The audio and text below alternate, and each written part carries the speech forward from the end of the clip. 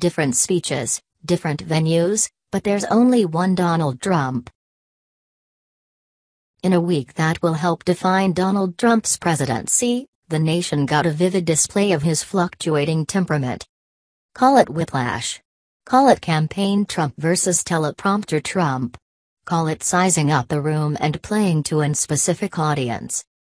Or even call it, as former Director of National Intelligence James Clapper did on CNN, downright scary and disturbing.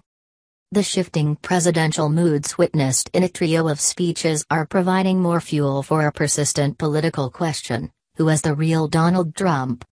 No one can be sure which version of the president will show up on any given day, whether in the Oval Office, on TV, or on Twitter.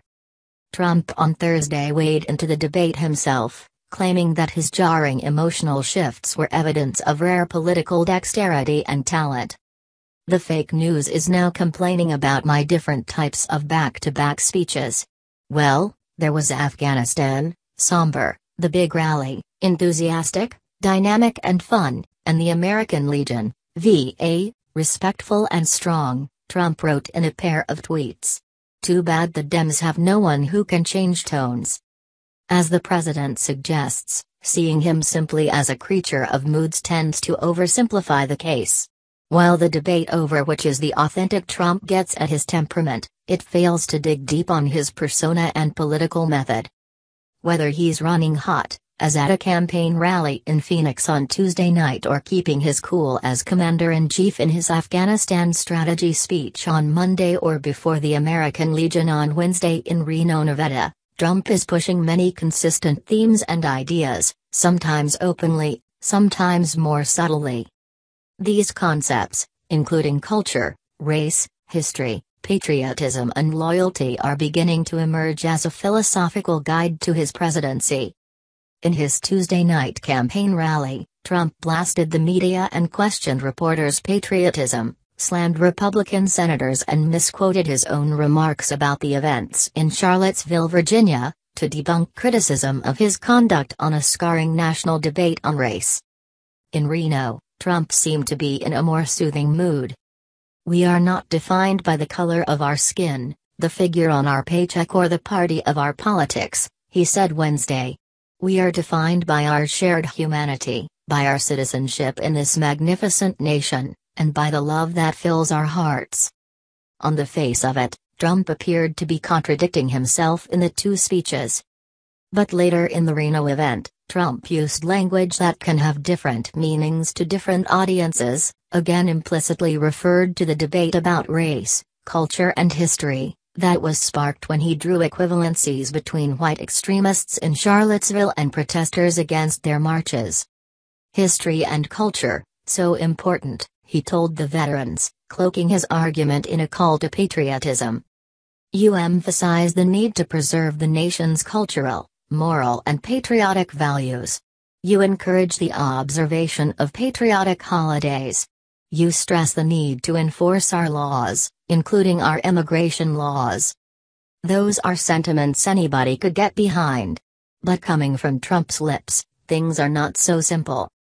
In the context of Trump's campaign and previous rhetoric and controversial immigration policies, those words could also be read as a clear message to his political base. And the concept of history and culture may not equate with those of Americans who oppose him, some of whom see such language as code words for a certain political stance on race. For instance, condemning efforts to tear down Confederate monuments, the president has repeated warned that America's culture is under threat.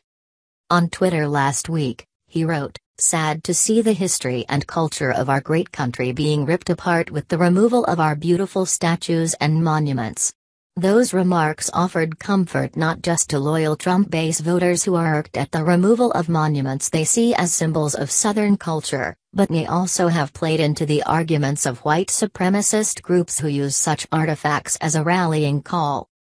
Trump's message of inclusion in Reno was also undercut by the fact that a White House official Wednesday told CNN that all the paperwork was in place for him to pardon former Arizona Sheriff Joe Arpaio, who was convicted of contempt in a case related to racial profiling. For Trump's critics, such a step would run counter to his message of racial unity, but it would be consistent with his frequent desire to reach out to his political base on issues like undocumented migrants and immigration. It would not the first time that the president has appeared to offer a conventional, unifying message, but conveyed more subtle political signals when he has been in his calm, commander in chief mode.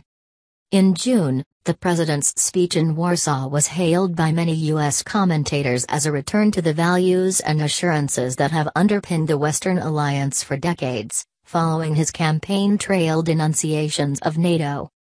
But many in Europe heard a quite different message, picking up on his language and stark question do we have the desire and the courage to preserve our civilization in the face of those who would subvert and destroy it? To critics, Trump was invoking a version of the West in line with his own nationalist views, advocating a white, Christian civilization with impenetrable borders that would be antithetical to the more secular, multicultural vision of many Europeans. Trump has also been talking frequently about another core value, loyalty, in recent weeks.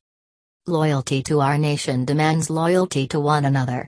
Love for America requires love for all of its people. Trump said in his speech on Afghanistan policy on Monday night. On Tuesday, in Phoenix, he hit the same theme we must rediscover the bonds of love and loyalty that bring us together as Americans, right? On the surface, no one could argue with that. Yet Trump's conception of loyalty might give critics pause. Throughout his seven month old presidency, Trump has shown himself fixated with loyalty, and his perception that he is not getting enough of it. After all, his request for loyalty from James Comey made the former FBI chief uncomfortable, and his refusal to offer it unconditionally to Trump apparently led to his dismissal. At a combustible performance at a Boy Scout Jamboree in West Virginia in July, Trump said, We could use some more loyalty, I will tell that you that.